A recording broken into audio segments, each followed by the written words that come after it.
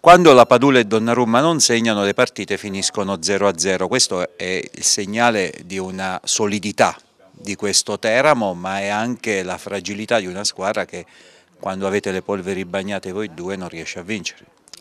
Eh, sicuramente gli attaccanti in quasi tutte le squadre comunque sono quelli che devono fare i tapin.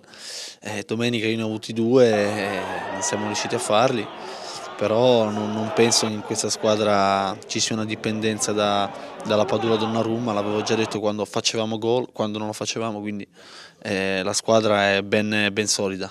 Comunque a scanso di equivoci forse è meglio che contro la spalla ricominciate a segnare così. Ah beh, sicuramente deve tornare a segnare il termo perché vuol dire che, che fa punti, non la Padula Donnarumma, però sempre attraverso la prestazione che c'è stata anche all'Aquila, dove abbiamo fatto un'ottima partita e dobbiamo continuare su questa strada. Visto il calendario, potrebbe questa essere la partita del sorpasso?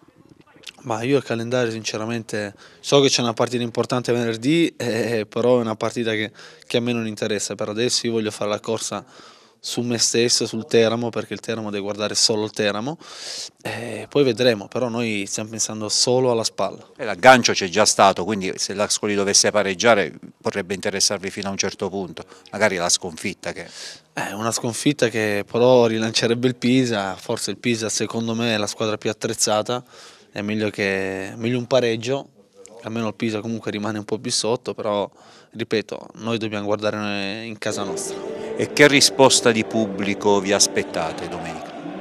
Eh, una risposta l'abbiamo avuta già all'Aquila che veramente è stato veramente emozionante e piacevole vedere questo, questo Teramo seguito da tutti i tifosi e spero che in casa ci diano una mano che ci hanno sempre dato perché comunque la gente è sempre venuta e ora che comunque inizia a farsi più bello non sarebbe male avere qualche gente in più.